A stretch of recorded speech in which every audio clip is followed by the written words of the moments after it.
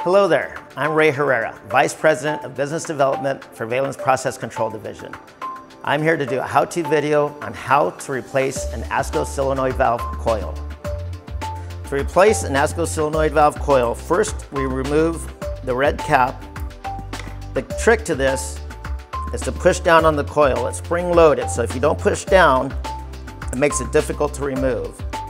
Quite often, people don't realize they have to push down on the coil. They stick a screwdriver in here and it's dangerous. You can cut yourself or you can bend up the nameplate. So push down, remove the plate, and you don't even need a screwdriver. And the solenoid valve comes off. To replace it, make sure the spring is in place. If it's flattened out, just bend it so it has spring action. This is what holds the nameplate.